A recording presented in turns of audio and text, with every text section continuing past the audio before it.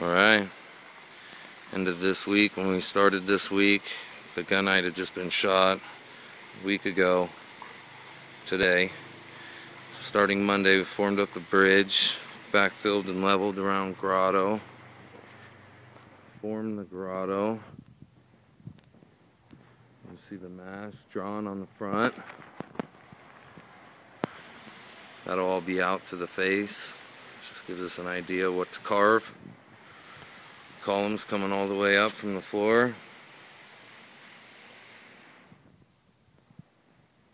Little mess down there right now. Walk over to the grotto. Be a sheet of water coming down from there, basically where my banner is, dropping down into the water. Water level will be just below that flat gunite bond beam right there. This will be your entrance into the grotto. You see how thick that wall is going to be. Keep in mind all these form boards come down. There's a week's worth of forming all to come down, or about a week, four days.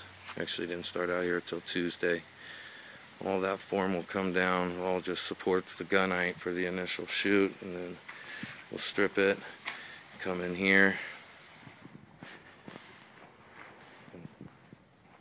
shoot a coat on the inside, carve everything to look just like that spa.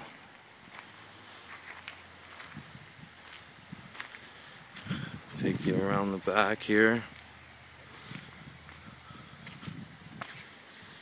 Slide will be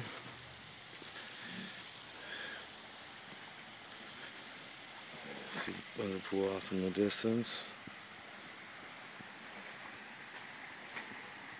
There'll be a block right there for kids to slide down, along with the water slide that'll come in right here and start up there at that notch. Right back here at the face again. This monster. Alright, more to come.